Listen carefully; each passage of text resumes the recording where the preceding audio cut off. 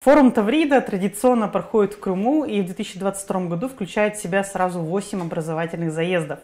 Новый образовательный сезон посвящен Году культурного наследия народов России. 12 июня он откроется первым образовательным заездом «Кириллица», который объединит различные арт-школы народного искусства, хореографии, музыка, цифровизация, IT-технологий, а, русского языка и современной литературы.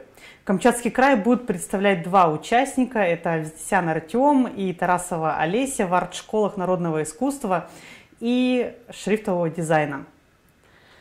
Участников ждут неожиданные кросс-жанровые э, коллаборации, современные образовательные форматы и интересный мощный нетворкинг. Регистрация на другие образовательные заезды также продолжается. Мы приглашаем молодых деятелей культуры и искусства не оставаться в стороне и принять участие в грандиозном событии, реализовать свой профессиональный потенциал.